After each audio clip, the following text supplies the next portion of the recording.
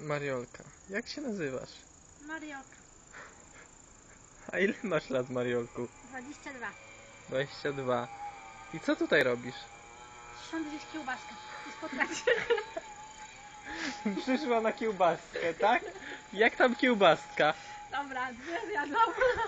Dwie zmieściłaś? Tak. Ta, a skąd te kiełbaski? No, no jak to skąd kupiłam? Co? Z Biedronki. Co? Nie nauczyłaś się swojej roli. To Nauczyłam. reklama jest. To reklama Simplusa.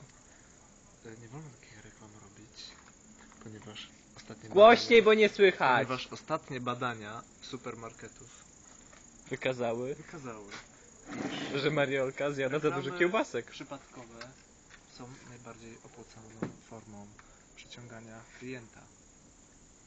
A nie przyciąganie seksu. Przyciągania seksu. To znaczy nie. Wiesz co, on potem to włączy na ambonkę. Kamera? No.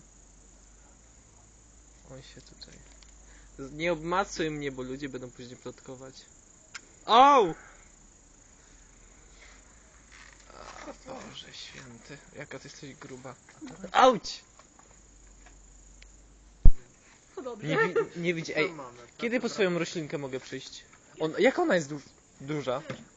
No nie, pokaż. Dał mi, słuchaj, dał mi dwa lata temu kwiatka i niego do tej pory. Słyszysz? A, albo znowu na kolejny rok jej zostawię, tak jak w tamtym roku miałem brać. Pokaż jak ona duża jest. Jaka? Taka? Nie, serio. Duża jest.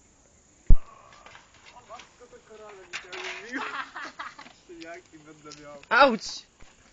Nie jak... Czekaj. Patryka nie mam, to muszę się... Już nie? Grill stulecia. Ej! Au! Ty! Może nie korale. Nie duś mnie tak. Bawcie się tutaj ładnie, jedzcie. Się, bo tutaj wszyscy się. To taki wycisk. Mariusz podobno przytył. Pokaż. Gdzie? Jezu, was tu samych nie zostawiam, bo... Dawaj dupę. Dawaj schaby. Dawaj schaby. Aśka